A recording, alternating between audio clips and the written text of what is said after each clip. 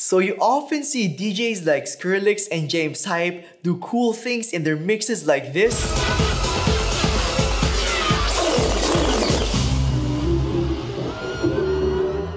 And this.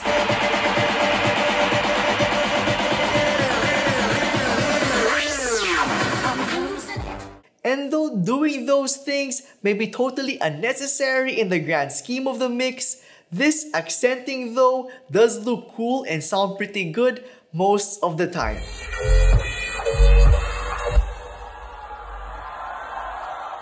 So in this video, I'm gonna show you 5 techniques the pros use to DJ high energy sets. Or at least look like you're DJing high energy sets.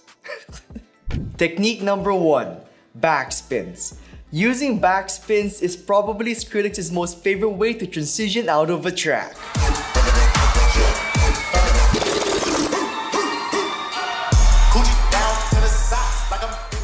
And I can't blame him because using backspins is an effective way to bring energy to one set because it hypes up the entrance of the next song.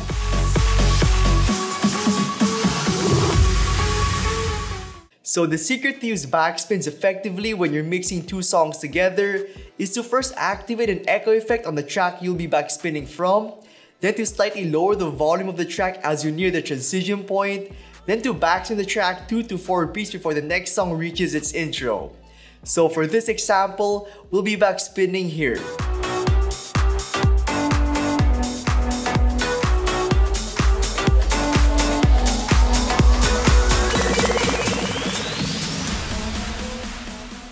Technique number two, pad effects. Now, when pro DJs in festivals wanna show off, they tend to backspin, roll, and vinyl break their track to accent it. And an effective way to do just that without affecting the track's original playback is by using slip mode, which is mostly available on expensive DJ equipment.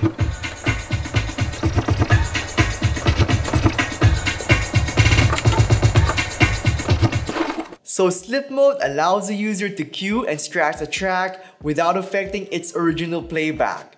But since most beginner DJs don't have DJ units that have slip mode, an equally effective way to accent one's track is to use a roll, vinyl break, and trans pad effects.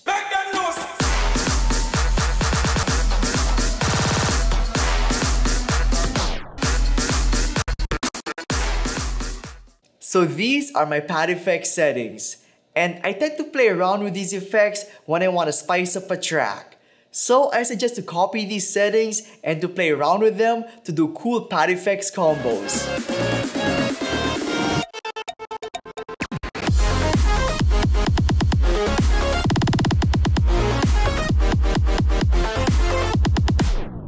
So if you want to learn how to set up your pad effects, go to this section of the video over here. Anyway, let's now move on to technique number 3 which is scratch slash cue dropping.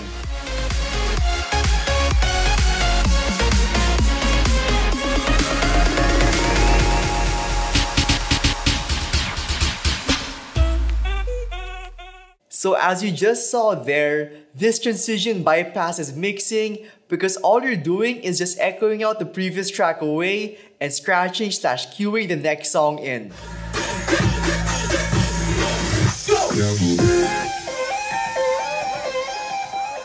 This is by far my favorite way to transition when I want to skip mixing and just jump to a different genre or BPM range. The secret is to make sure that your next song has a good start, like a quick drum or vocal intro.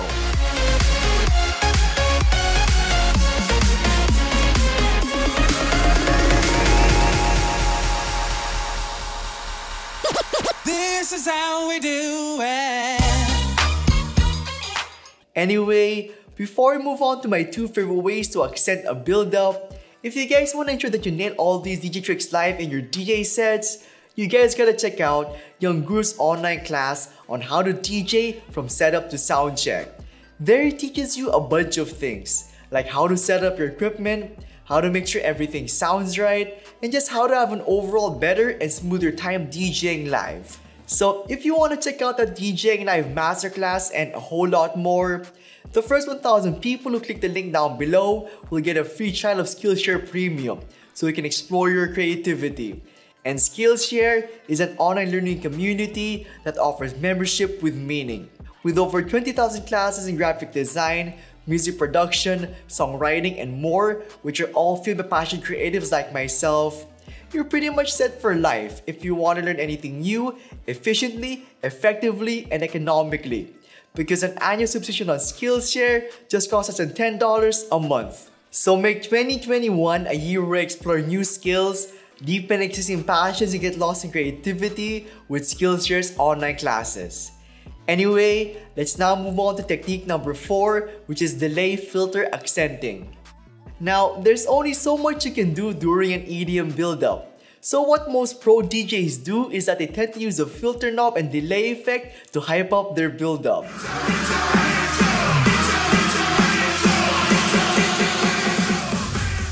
So their strategy is to simply turn their filter knob clockwise during the build-up and counterclockwise when the build-up reaches its climax, all while the delay effect is active and set to either 1 4th or 1 half.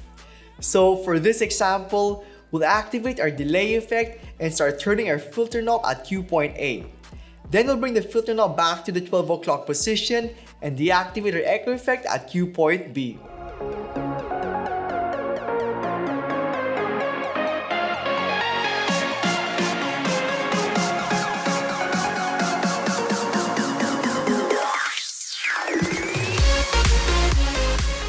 So that's the most basic way to use that delay filter combo. But if you want to take it even further, try playing around with the volume fader of the track as well as the filter knob as you reach the song's climax.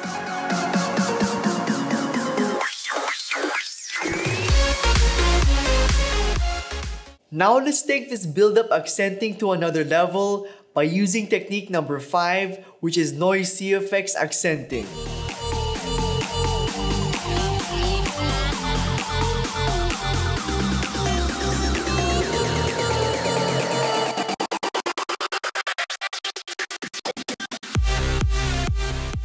So what I just used there in place of a filter is a noise CFX.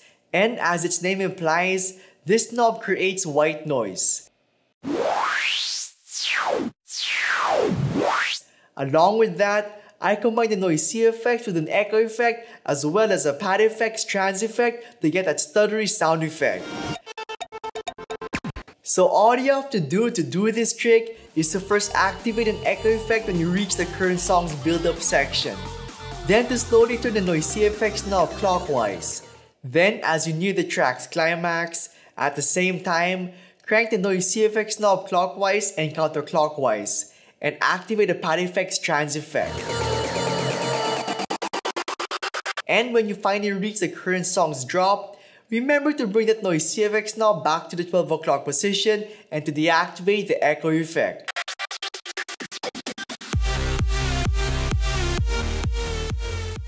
So here's how you can get access to the noise CFX function on Rekordbox DJ.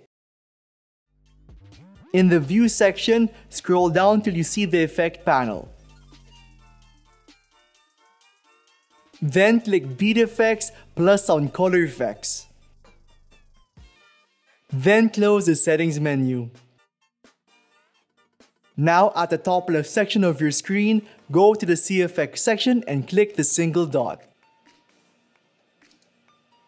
Then click User and from the Filter tab, select Noise and make sure it's highlighted. Then finally, bring the parameter knob to the 1 o'clock position.